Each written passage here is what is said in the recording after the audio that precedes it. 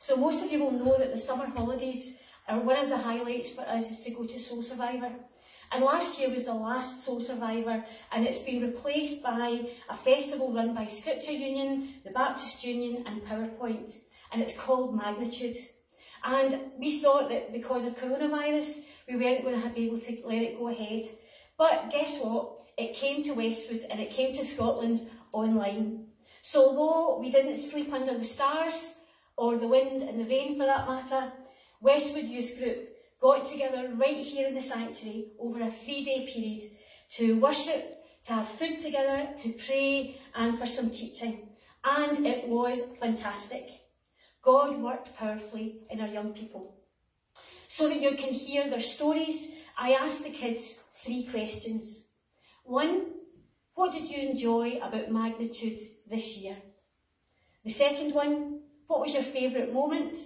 And the third one, what was God saying to you through the time that you spent together, either through the messages or through our together time?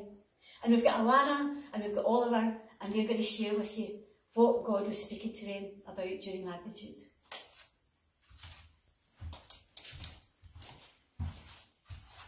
Uh, everyone said that it was fantastic for us to spend time together as a group. For the first time in months, we got out of the house and talked to each other properly. With online worship, seminars, and fellowship with others, socially distanced, of course, it felt awesome to experience everything again for a couple of nights this year within the comfort of our own church. Here are some of the standout moments from us. As always, we all, we all love the worship. Music allows us um, music allows us to connect with God on a totally different level. Um, God spoke powerfully through the speakers on a range of things, like just as connecting with God. Cassidy said that one of the seminars called How Can I How Can I Hear from God gave me fresh, new insight and helpful tips on how I can hear from Him. Chris loved the last night and we were all reflecting on the previous Soul Survivors and how just enjoyed the time just in each other's companies. And Sophie loved the dance cam and doing the Westwood, the Westwood Mexican wave.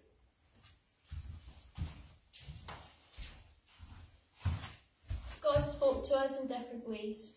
We felt God was emphasising that during this restricted period, we've not been alone. Also, with this slavery topic, we never will be slaves again. God will make sure of it. There was a real sense that God was saying that we're not to worry about this year coming and take everything in our stride. God is watching over us and helping us every step of the way. He is with us and he never lets us down. Cassidy felt that God was saying that even through these difficult times, we're still blessed to be able to connect, even if it's virtually.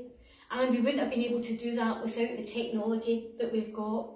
But praising God and learning about God online was amazing. And it's amazing to think of those countries where it's really difficult for Christians who have faith, but they're unable to meet together unless uh, they get picked up by the police. So even though through this pandemic, we can still praise the Lord. Hallelujah.